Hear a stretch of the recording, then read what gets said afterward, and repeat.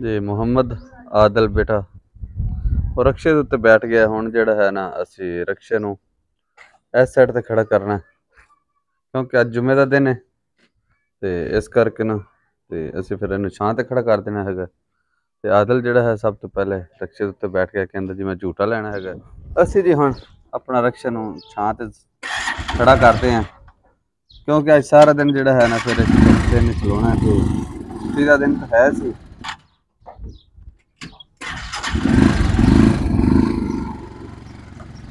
ਆਦਲ ਦਾ ਕੰਮ ਤੁਸੀਂ ਚੈੱਕ ਕਰੋ ਛਾਲਾ ਮਾਰਦਾ ਪਿਆ ਹੈਗਾ।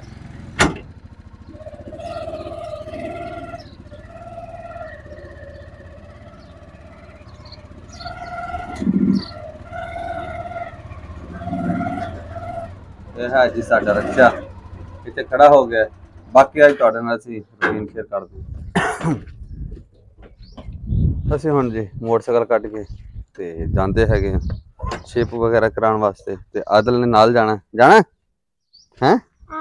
ਆਦਲ ਨੇ ਜੀ ਨਾਲ ਜਾਣਾ ਹੈਗਾ ਤੇ ਜੁਮੇ ਦਾ ਦਿਨ ਤੁਹਾਨੂੰ ਪਤਾ ਹੈ ਕਿ ਉਸ ਤੋਂ ਬਾਅਦ ਆ ਕੇ ਫਿਰ ਕੱਪੜੇ ਵਗੈਰਾ ਆਪਣੇ ਬਦਲਾਂਗੇ।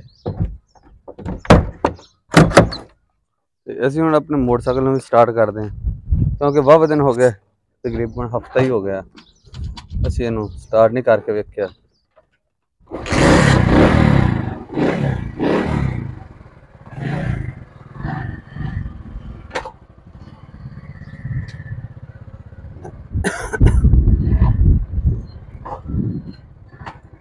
ਅਸੀਂ ਹੁਣ ਜੀ ਆਪਣੇ ਮੁਹੱਲੇ ਦੇ ਵਿੱਚੋਂ ਜਾ ਰਹੇ ਹੈਗੇ ਹਾਂ ਹਵਾਮ ਤੇ ਤੇ ਉਹ ਤੁਹਾਨੂੰ ਪਤਾ ਹੈ ਕਿ ਅਸੀਂ ਸੈਟਿੰਗ ਕਰਾਣੀ ਹੈ ਸ਼ੇਪ ਕਰਾਣੀ ਹੈ।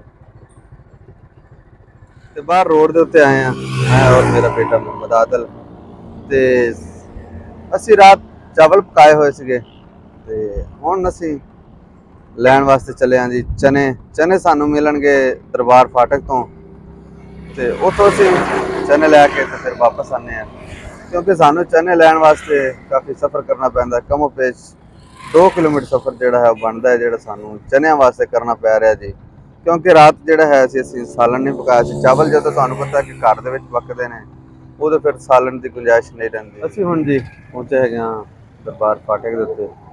ਇਹ ਤੋਂ ਹੁਣ ਅਸੀਂ ਲੈਂਦੇ ਹਾਂ ਜੀ ਚਨੇ। ਤੁਹਾਨੂੰ ਦਿਖਾ ਦਿੰਦਾ ਕਿ ਇਹ ਜਿਹੜੇ ਚਨੇ ਵਾਲੀ ਰੇਹੜੀਆਂ ਲੱਗੀਆਂ ਹੋਈਆਂ ਨੇ। ਤੇ ਇੱਥੇ ਇੱਕ ਜਗ੍ਹਾ ਤੋਂ ਅਸੀਂ ਚਨੇ ਲੈ ਕੇ ਤੇ ਫਿਰ ਆਪਣੇ ਜਿਹੜਾ ਹੈ ਜੀ ਘਰ ਨੂੰ ਜਾਵਾਂਗੇ। ਇਹ ਜਿਹੜੇ ਊਠ ਨੇ ਜੀ ਰਾਚੀਆਂ ਨੇ। ਤੇ ਵੇਖ ਲਓ ਦਰਬਾਰ ਫਾਟਕ ਤੇ ਦਰਬਾਰ ਤੇ ਆਈਆਂ ਹੋਈਆਂ ਸਨ ਸਲਾਮ ਪੜਨ ਵਾਸਤੇ। ਤੇ ਮਾਲਕ ਜਿਹੜਾ ਜੀ ਤੁਹਾਨੂੰ ਪਤਾ ਬਲੋਚ ਜਿਹੜੇ ਹੈ ਨੇ ਜਾਨਵਰਾਂ ਨੂੰ ਸਲਾਮ ਪਰਾਉਣ ਵਾਸਤੇ ਲਾਜ਼ਮੀ ਲੈ ਕੇ ਆਉਂਦੇ ਨੇ। ਤੇ ਤੁਹਾਨੂੰ ਪਤਾ ਸ਼ਹਿਰ ਦੇ ਵਿੱਚ ਇਹਨਾਂ ਥੋੜੀ ਮੁਸ਼ਕਲ ਤੇ ਪੈਦਾ ਹੁੰਦੀ ਹੈ। ਤੇ ਹੁਣ ਜੀ ਰਾਤ ਵੀ ਇੱਥੇ ਟਿੱਕੇ ਨੇ। ਤੇ ਹੁਣ ਜਾ ਰਹੇ ਨੇ ਆਪਣੀ ਮੰਜ਼ਿਲ ਮਕਸੂਦ ਨੂੰ।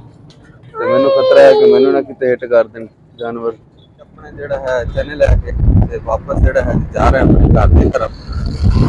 ਕਿਉਂਕਿ ਸਾਡਾ ਘਰ ਥੋੜਾ ਜਿਹਾ ਹੈ ਤੇ ਫਿਰ ਸਾਨੂੰ ਮੇਨ ਰੋਡ ਦੇ ਉੱਤੇ ਆਣਾ ਪੈਂਦਾ ਹੈ ਜੀ ਚਨੇ ਲੈਣ ਵਾਸਤੇ। ਮੈਂ ਜੀ ਆਪਣੇ ਬੱਚੇ ਨੂੰ ਲੈ ਕੇ ਆਇਆ ਹੋਇਆ ਸੀ ਦਰਬਾਰ ਮੁਹੰਮਦ ਸ਼ਾਹ ਰੰਗੀਲਾ। ਤੇ ਬੱਚਿਆਂ ਦੇ ਨਾਲ ਥੋੜੇ ਜਿਹੇ ਫਿੰਡਸੇ ਵਗੈਰਾ ਨਿਕਲੇ ਹੋਏ ਸਨ। ਤੇ ਆਦਲ ਵੀ ਮੇਰੇ ਨਾਲ ਹੈ। ਉਹਨਾਂ ਦੇ ਨਾਲ ਜਿਹੜੇ ਇਰਮ ਔਰ ਕਿਰਨ ਨੇ, ਇਸ ਕਰਕੇ ਉਹ ਦਾਣੇ 'ਚ ਨਿਕਲੇ ਹਨ। ਤੇ ਉਹਦੇ ਵਾਸਤੇ ਅਸੀਂ ਸਲਾਮ ਪੜਨ ਵਾਸਤੇ ਆਏ ਹਾਂ ਬੱਚਿਆਂ ਨੂੰ, ਤੇ ਤਾਂ ਕਿ ਆਰਾਮ ਆ ਜਾਵੇ।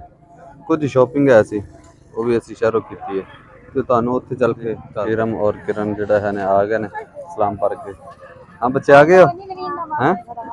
ਅਸੀਂ ਹੁਣ ਜੀ ਜਿਹੜਾ ਸ਼ਾਪਿੰਗ ਵਗੈਰਾ ਕਰਕੇ ਦਰਬਾਰ ਤੋਂ ਹੋ ਕੇ ਤੇ ਘਰ ਅਸੀਂ ਪਹੁੰਚ ਆਏ ਆ ਤੇ ਬੱਚੇ ਹੁਣ ਜਿਹੜਾ ਹੈ ਨੇ ਉਹ ਸਮਾਨ ਉਤਾਰਦੇ ਪਏ ਨੇ ਆਪੋ ਆਪਣਾ। ਇਹ ਨੇ ਜੀ ਇਰਮ ਔਰ ਕਿਰਨ, ਜਿਹੜਾ ਉਹਨਾਂ ਦਾ ਸਮਾਨ ਹੈ ਸੀ ਸ਼ਾਪਿੰਗ ਕੀਤੀ ਉਹਨਾਂ ਨੇ। ਉਹ ਲੈ ਕੇ ਆ ਰਹੇ ਨੇ ਤੇ ਪਿੱਛੇ ਹੈ ਮੁਹੰਮਦ ਅਫਜ਼ਾਲ, ਮੁਹੰਮਦ ਆਦਲ ਤੇ ਉਹ ਵੀ ਆਪਣੀ ਜਿਹੜੀ ਉਹਨੇ ਸ਼ਾਪਿੰਗ ਕੀਤੀ, ਉਹ ਵੀ ਤੁਹਾਨੂੰ ਦਿਖਾਉਂਦਾ ਹੈ। ਆਦਲ, ਕੀ ਲੈ ਕੇ ਆਂਦਾ ਪਿਆ ਹੈ? ਲੋ ਜੀ, ਆਦਲ ਖਾਨ ਦਾ ਤੁਸੀਂ ਟਰੈਕਟਰ ਟਰਾਲੀ ਚੈੱਕ ਕਰਨਾ ਹੈ ਜੀ। ਇਹ ਹੈ ਜੀ ਕਿਰਨ ਔਰ ਇਰਮ ਤੇ ਉਹਨਾਂ ਦੇ ਮੈਂ ਤੁਹਾਨੂੰ ਦਾਣੇ ਦਿਖਾਣਾ ਵਾ। ਇਹ ਹੈ ਮੱਥੇ ਦੇ ਉੱਤੇ ਜਿਹੜੇ ਨੇ ਇਹ ਦਾਣੇ ਨਿਕਲੇ ਹੋਏ ਨੇ ਇਹ ਤੇ ਉਧਰੋਂ ਇਰਮ ਦੇ ਵੀ ਇਹ ਨਿਕਲੇ ਨੇ ਤੇ ਅਸੀਂ ਇਸ ਕਰਕੇ ਦਰਬਾਰ ਦੇ ਉੱਤੇ ਗਏ ਹੋਏ ਸੀਗੇ।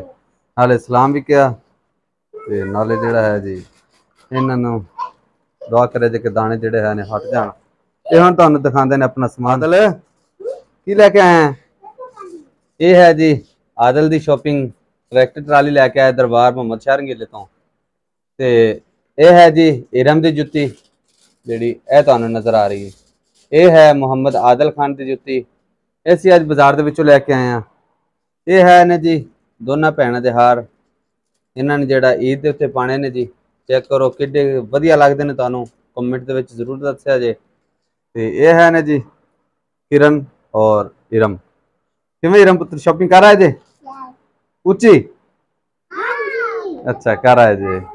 ਹਾਂ ਤੂੰ ਕਿਰਨ? ਮੈਂ ਵੀ ਰਹੀ ਅੱਛਾ ਠੀਕ ਹੈ। ਹੁਣ ਹੋਰ ਜੇ ਨਹੀਂ ਤੁਹਾਡੀ ਕੋਈ ਸ਼ਹਿਰਾਂ ਦੀ? ਨਾ। ਲਓ ਜੀ। ਇਹ ਹੈ ਜੀ ਇਹਨਾਂ ਦੀ ਅੱਜ ਦੀ ਸ਼ਾਪਿੰਗ ਈਦ ਸ਼ਾਪਿੰਗ ਕੱਪੜੇ ਵਗੈਰਾ ਤੇ ਇਹਨਾਂ ਦੇ ਸਿਲਾਈ ਹੋ ਗਏ ਨੇ ਮੁਕੰਮਲ ਹੀ। ਬਸ ਇਹ ਜਿਹੜਾ ਸਮਾਨ ਰਹਿੰਦਾ ਸੀ ਅੱਜ ਅਸੀਂ ਲੈ ਆਏ ਹੈਗੇ ਆ ਇੰਜ ਹੋਇਆ ਕਿ ਆ ਜਿਹੜਾ ਬਿਜਲੀ ਦਾ ਬਿੱਲ ਹੈ ਨਾ ਇਹ ਮੈਨੂੰ ਡੇਟ ਦਾ ਥੋੜਾ ਜਿਹਾ ਫ਼ਰਕ ਨਜ਼ਰ ਆਇਆ। ਤੇ ਮੈਂ ਸਮਝਿਆ ਕਿ 23 ਤਰੀਕ ਸ਼ਾਇਦ ਆਖਰੀ ਹੈ। ਤੇ ਮੈਂ ਜਿਹੜਾ ਬਿੱਲ ਨਹੀਂ ਸੀ ਤਾਰਿਆ ਤੇ ਰਾਤ ਨੂੰ ਜਦੋਂ ਵੇਖਿਆ ਕਿ ਬਿੱਲ ਦੀ ਆਖਰੀ ਤਰੀਕ ਜਿਹੜੀ ਹੈ 22 ਜੂਨ ਹੈ। ਤੇ ਹੁਣ ਸਾਨੂੰ ਜਿਹੜਾ ਹੈ ਜੀ 150 ਰੁਪਏ ਇਜ਼ਾਫੀ ਭਰਨਾ ਪੈ ਰਿਹਾ ਜਿਹੜਾ ਟੈਕਸ ਹੈਗਾ ਡੇਟ ਦਾ। ਤੇ ਹੁਣ ਅਸੀਂ ਬਿੱਲ ਤਾਰਨ ਲੱਗੇ ਹੈਗੇ ਆ ਜੀ। ਇਹ ਹੈ ਜੀ ਸਾਡਾ ਬਿੱਲ। ਤੁਹਾਨੂੰ ਮੈਂ ਦਿਖਾਣਾ ਵਾ ਕਿ ਫ਼ਰਕ ਕਿੱਦਾਂ ਮੈਨੂੰ ਲੱਗਿਆ। ਇਹ ਲਿਖਿਆ ਹੈ ਜੀ 23 ਤਰੀਕ। ਯਾਨੀ ਕਿ 22 ਜੂਨ 2023 ਲਿਖਿਆ ਹੋਇਆ ਹੈ। ਤੇ ਮੇਰੇ ਜ਼ਿਹਨ 'ਚ ਇਹ ਹੈ ਸੀ ਕਿ 23 ਜੂਨ ਤੱਕ ਆਖਰੀ ਡੇਟ ਹੈ ਜੀ। ਤੇ ਇਸ ਕਰਕੇ ਪਹਿਲੇ ਸਾਡਾ ਬਿੱਲ ਹੈ ਸੀ 2245 ਤੇ ਹੁਣ ਸਾਨੂੰ 2400 ਰੁਪਏ ਪੇ ਕਰਨਾ ਪੈਣਾ ਹੈ ਜੀ। ਤੇ ਹੁਣ ਅਸੀਂ ਇਹਨੂੰ ਆਪਣੇ ਮੋਬਾਈਲ ਤੋਂ ਪੇ ਕਰਦੇ ਹਾਂ।